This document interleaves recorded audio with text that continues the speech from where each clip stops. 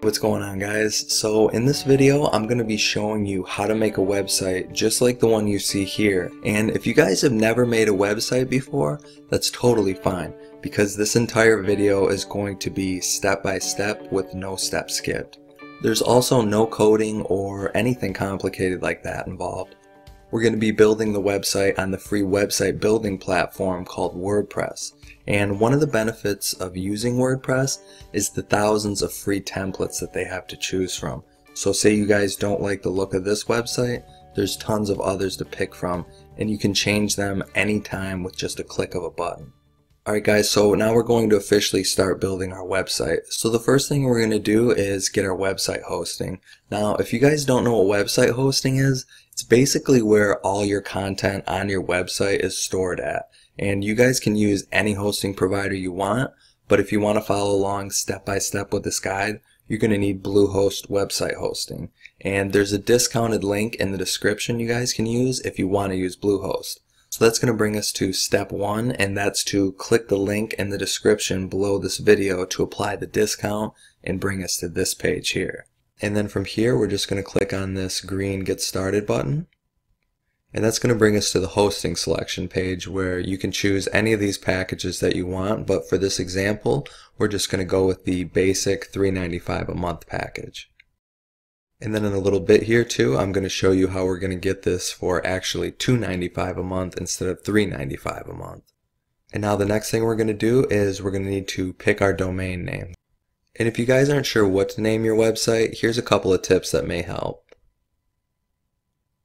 And then once you find the domain name that you want to use, you can just type it in and then click next and that's going to show you if it's available or not. Sometimes stuff isn't available so you have to come up with a different name. And once it is available, you just click on this next button here.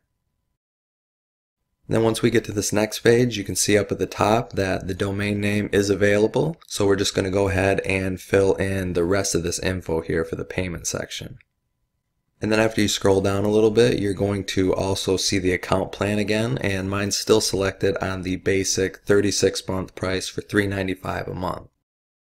And then once you get to the package extras, really you don't have to select any of these if you don't want to, but just for privacy reasons, I'm going to select the domain privacy plus protection. But again, none of these package extras are going to be required to have to finish the rest of this guide. So even if you leave them all blank, that's totally fine.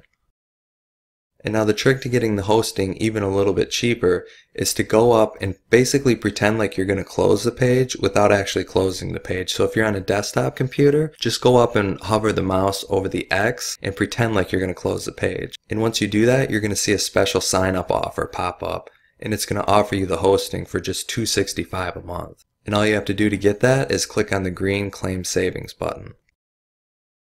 And once that savings is applied, you'll see as long as you have no package extra selected, your savings is going to be $192.24, making your total $95.40 for three years of hosting, which is a great deal.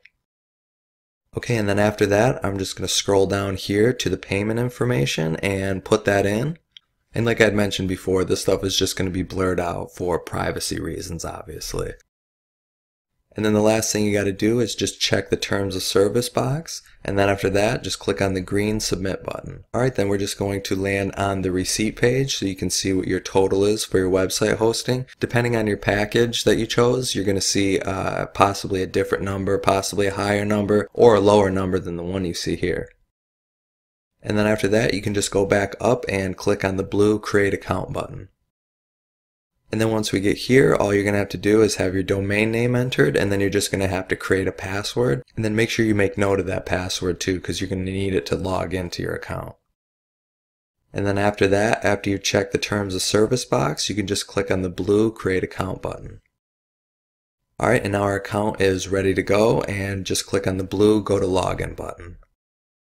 And then you're going to enter your domain name and then the password that you created, and then just click on login. And then once you get to this point, we're going to set all this stuff up later inside WordPress. So you can just go down here to the bottom and just click on skip for now.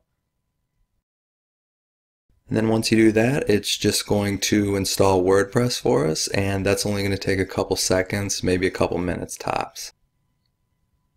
Okay, and then once that's installed, you're going to land on your Bluehost dashboard and now you've successfully set up your website. Now all we got to do is set up a couple more things and build our site. So the first thing we're going to do is go over to the left side here and click on My Sites. And then once you do that, all you have to do is hover your mouse over your website right there and then click on Log into WordPress.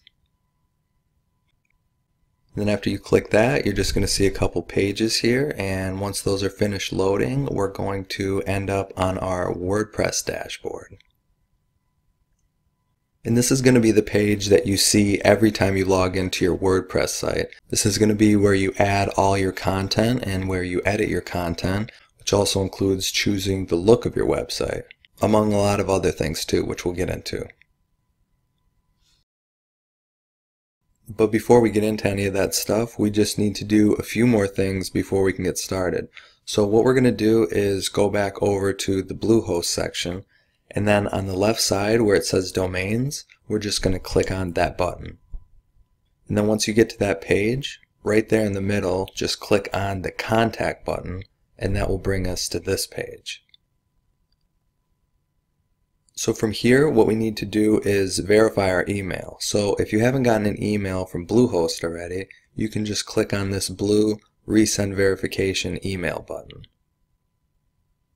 And then after that, you can go to your email account that you registered Bluehost with and then find the email that should look like this. And then once you see it, you can just click on the green verify your email button.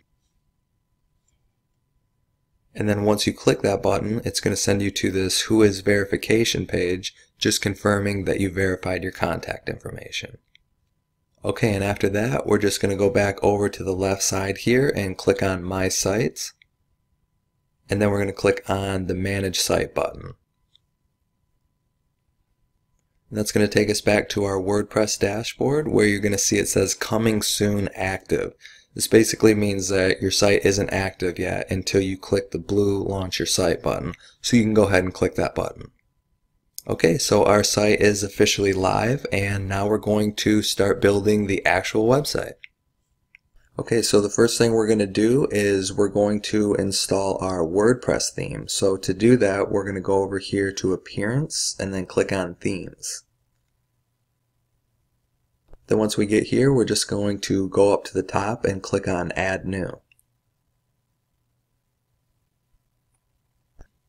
And this is where you guys are going to find all the WordPress themes. You can scroll through these up here and then go down and check all these out if you're not interested in the one that we're using today. There's tons to pick from. But the theme we're going to be using is called BAM. So if we go up here and type in BAM, and here it is. And now you guys are just going to click on the install button and then after that you're just going to click on activate. Then once you do that, if you go back over here to themes, you will see that the theme is installed and it's active.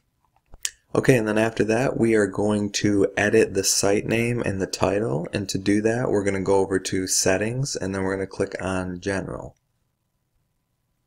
And then once we get here, the only things we're going to edit is the site title and the tagline. So you guys can just put the site title for your website, and then you guys can just put a tagline after that. And then once you finish doing that, you can just scroll down here to the bottom and then click on Save Changes.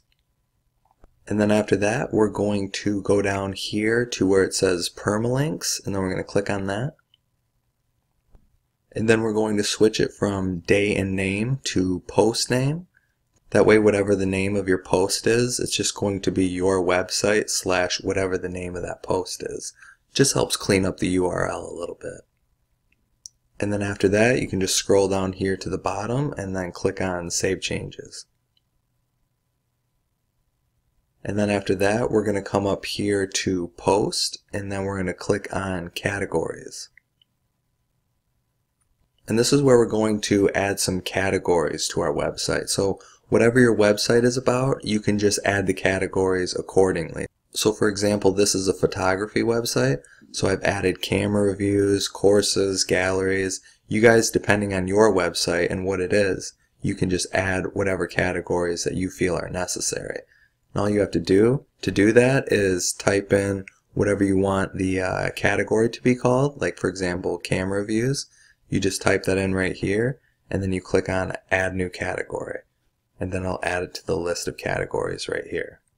And you can add as many of these as you want to have depending on your website. I would suggest at least making about five categories. And then after you hit the add new category button for each category, you don't need to click save or anything like that. Everything's just automatically saved.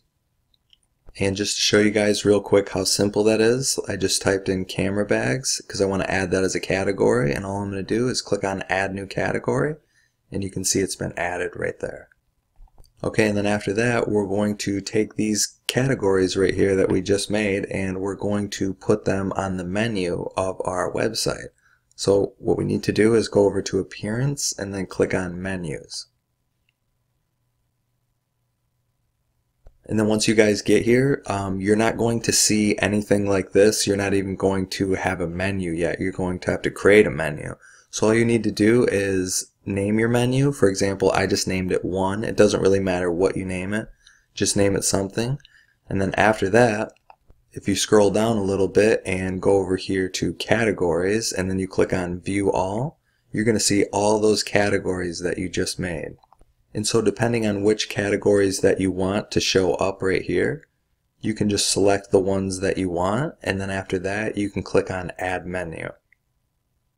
And if you guys want to move these categories around, you can just simply pick them up like this and just drag them into a new spot. And then after you like where everything is positioned, you just scroll down here and then you click on, make sure this under this display location, make sure you click on main menu and that's going to make it, make all those categories show up right here. And then after you do that, just click on save menu. And then if you guys go back and look at your website and refresh the page, you should see all your categories are now up here. And then after everything is saved here, we're going to make our first post. So what we need to do is go over here and click on posts. So once you guys get here to post, this is all going to be blank except for maybe the default one that um, WordPress includes. And to make a new post, all you have to do is click on add new.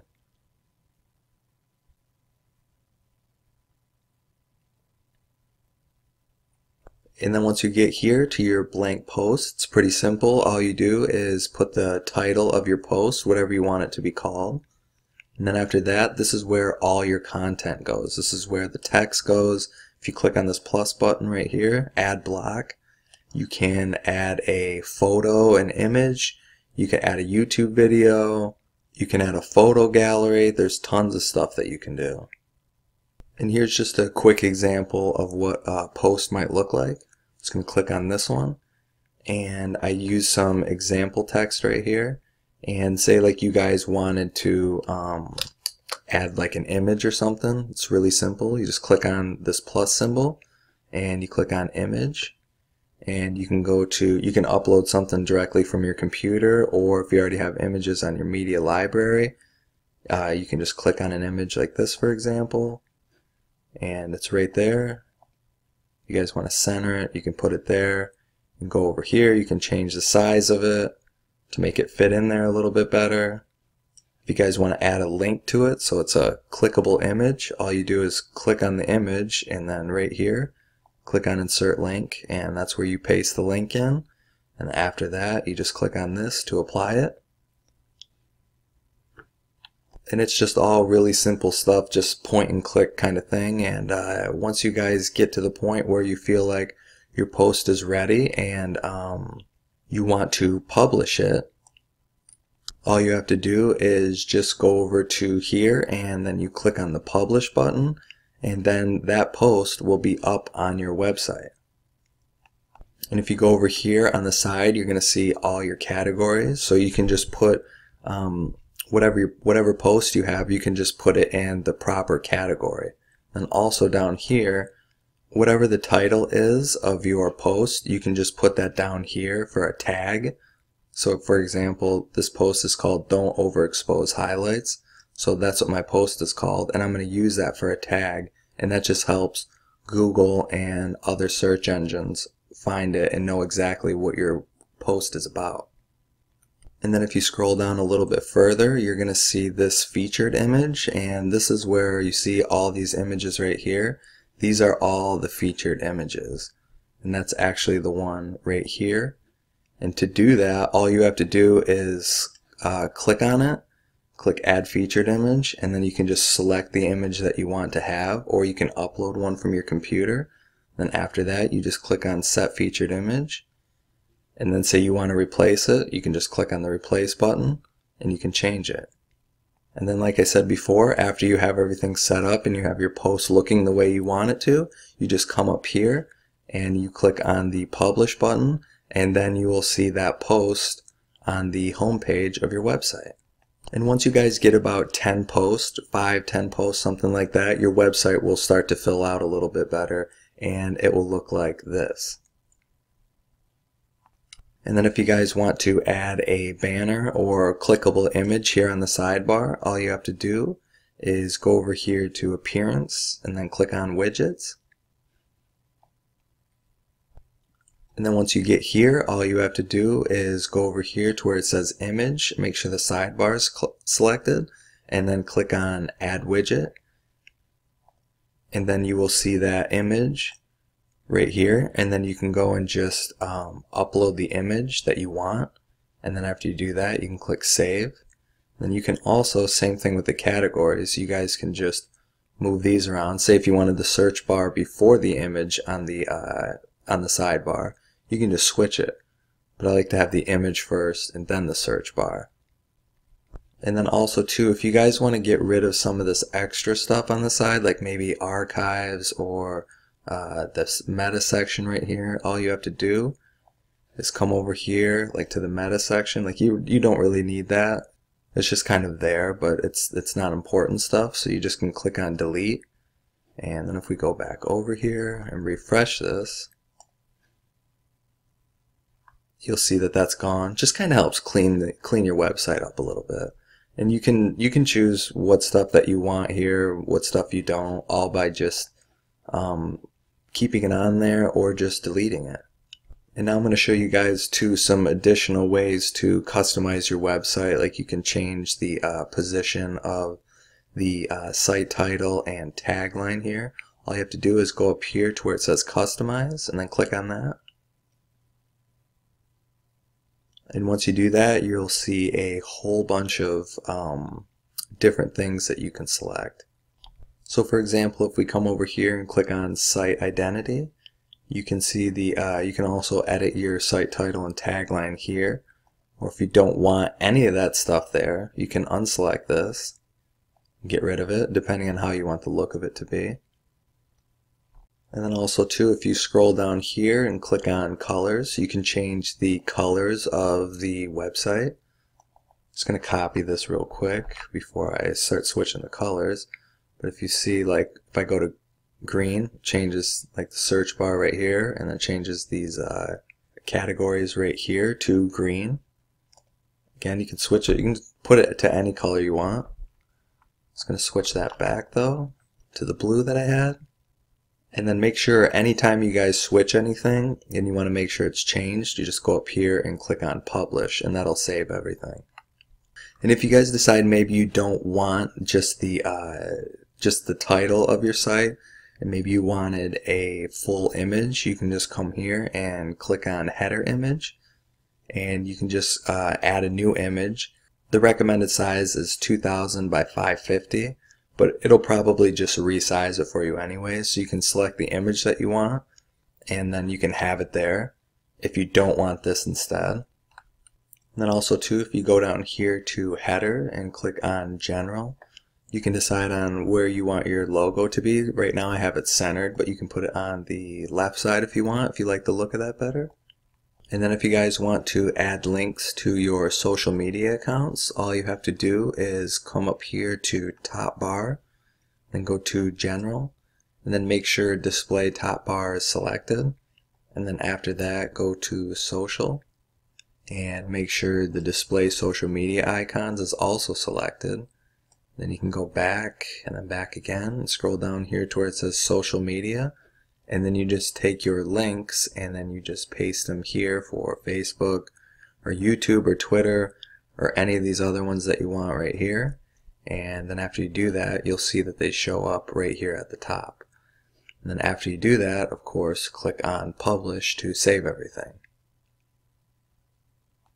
and that's pretty much it for the customized stuff. You guys can just go through here and don't be afraid to just scroll through and um, you know click on this stuff. Uh, make sure you remembered what you click on. So if you change something you can change it back.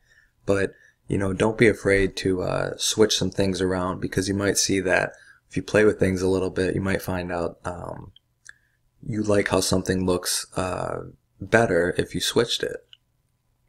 And then once you guys are done customizing everything and you save it or you publish it, you can just click on this X and it'll close everything and bring it back to the home page.